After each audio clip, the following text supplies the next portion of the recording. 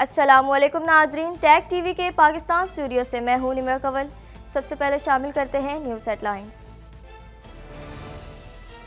آٹھویں بجٹ کے ساتھ لبرل حکومت کی عوام کا اعتماد جیتنے کی کوشش۔ نئے بجٹ میں کینیڈین حکومت نے امرا پر ٹیکس عائد کر دیے۔ آٹووا اگلے پانچ سالوں میں منصوبہ بندی سے باون اشاریہ نو بلین ڈالر زیادہ خرچ کرے گا۔ کینیڈین حکومت کا حلال مارگیج پر غور۔ کینیڈین حکومت کی جانب سے پہلی بار حلال مارگیج کے حوالے سے پیش رفت۔ لبرل حکومت نے کمیونٹیز کے ساتھ مشاورت شروع کر دی۔ متحدہ عرب امارات میں بارشوں کا پچھتر سالہ ریکارڈ ٹوٹ گیا۔ متحدہ عرب امارات میں شدید بارشوں سے نظام زندگی مفلوج۔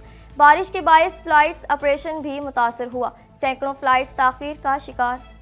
ہیڈ لائنز آپ نے جانی اور اب خبریں تفصیل کے ساتھ۔ EcoFresh detergent strip into the washer for a convenient, eco-friendly yet powerful wash. Hypoallergenic, safe for sensitive skin. Say no to bulky plastic jugs and bottles. No more measuring and spilling. Just one strip for a load. Simple and squeaky clean. Plastic-free, biodegradable packaging. Organic, paraben, phosphate, dioxane, and cruelty-free. Order now at www.ecofreshcanada.ca or at Amazon. کیا آپ Canada کی immigration اور citizen شپ لینا چاہتے ہیں یا Canada میں study کرنا چاہتے ہیں لائٹو امیگریشن نہ صرف آپ کو کینیڈا کی امیگریشن اور سٹیزن شپ دلوانے میں آپ کی مدد کر سکتے ہیں، بلکہ آپ کو کینیڈا میں سیٹل اور انویسٹ کرنے کے راستے بھی سجا سکتے ہیں Lito Immigration is a regulated Canadian immigration consultant. We deal in study, work, PNP, and PR visas. Get startup visas, work permit, and business visas. We rise by lifting others. Lito Immigration.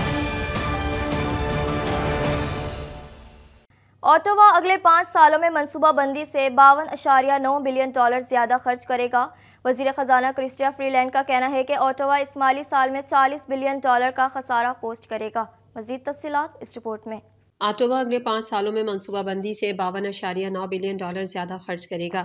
وزیر خزانہ کرسٹیا free land کا کہنا ہے کہ Ottawa اس مالی سال میں چالیس بلین ڈالر کا خسارہ پوسٹ کرے گا۔ فری لینڈ نے کہا کہ ہم اس بات کو یقینی بنا کر کینیڈا کے ٹیکس نظام کو مزید منصفانہ بنا رہے ہیں۔ ہم یہ اس لیے کر رہے ہیں کہ ایک اچھے متوسط طبقے کی زندگی بنانے کا ایک منصفانہ موقع آپ کے والدین، دادا، دادی یا اس سے بہتر ہمیشہ سے کینیڈا کا وعدہ رہا ہے۔ ٹروڈو حکومت کے آٹھویں بجٹ کا مقصد واضح طور پر اس حقیقت کی طرف ہے کہ بہت سے کینیڈینوں کے لیے زندگی ابھی زیادہ مناسب نہیں لگتی۔ حال غیر مساوی محسوس ہوتا ہے اور بہتر مستقبل کے وعدے کی ضمانت نہیں ہے۔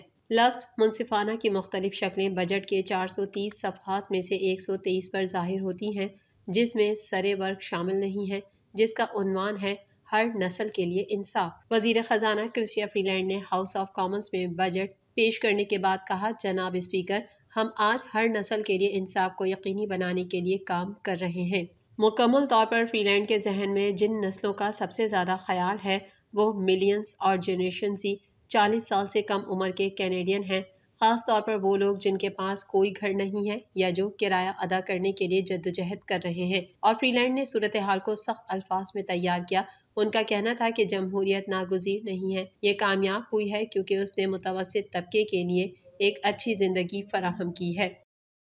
کینیڈین حکومت کا کہنا ہے کہ وہ متبادل مالیاتی مصنوعات جیسے حلال مارگیج تک رسائی کو بڑھانے کے لیے نئے اقدامات تلاش کرنے کا ارادہ رکھتی ہے۔ مزید جانیں گے اس رپورٹ میں۔ کینیڈین حکومت کا کہنا ہے کہ وہ متبادل مالیاتی مصنوعات جیسے حلال مارگیج تک رسائی کو بڑھانے کے لیے نئے اقدامات تلاش کرنے کا ارادہ رکھتی ہے۔ کینیڈین حکومت کی جانب سے حکومتی سطح پر پہلی بار حلال مارگیج کے حوالے سے پیش رفت ہوئی ہے۔ جس کے مطابق حکومت نے پہلی بار گھروں کے لیے حلال مارٹگیج کا جائزہ لینے کا فیصلہ کیا ہے۔ پارلیمنٹ میں پیش کیے گئے وفاقی بجٹ کے مطابق حکومت نے مالیاتی اداروں اور مختلف کمیونٹیز سے روایتی مارگیج کے متبادل طریقوں پر مشاورت کا آغاز کر دیا ہے۔ وفاقی بجٹ کے مطابق لبرل حکومت نے پہلے ہی مالیاتی خدمات فراہم کرنے والوں اور متنوع کمیونٹیز کے ساتھ مشاورت شروع کر دی ہے۔ یہ سمجھنے کے لیے کہ وفاقی پالیسیاں گھر کے مالک بننے کے خواہاں تمام کینیڈینوں کی ضروریات کو کس طرح بہتر طریقے سے پورا کر سکتی ہیں۔ واضح رہے کہ اسلامی عقائد کے مطابق سود کے لین دین اور اس پر منافع کو ناجائز سمجھا جاتا ہے۔ یاد رہے کہ کینیڈا میں کچھ مالیاتی ادارے مسلم کمیونٹی کے لیے حلال مارگیج کی سہولت دیتے ہیں، مگر کینیڈا کے پانچ بڑے بینکس میں یہ سہولت دستیاب نہیں ہے۔ حکومتی سطح پر پہلی بار حلال مارگیج کے حوالے سے پیش رفت ہوئی ہے۔ متحدہ عرب امارات میں شدید بارشوں نے تباہی مچا دی۔ ملک میں بارشوں کا پچھتر سالہ ریکارڈ ٹوٹ گیا۔ شدید بارشوں نے تباہی مچا دی، جس سے نظام زندگی بری طرح سے مفلوج ہو گیا۔ مزید تفصیلات اس رپورٹ میں۔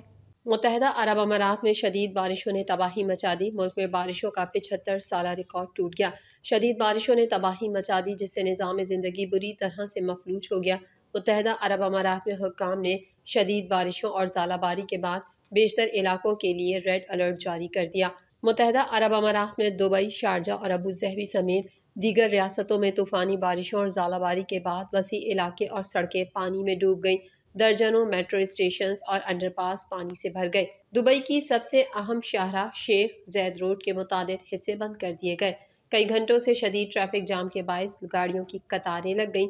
بارش کے باعث فلائٹس آپریشن بھی متاثر ہوا۔ سینکڑوں فلائٹس تاخیر کا شکار ہونے کے باعث ہزاروں مسافر پھنس گئے۔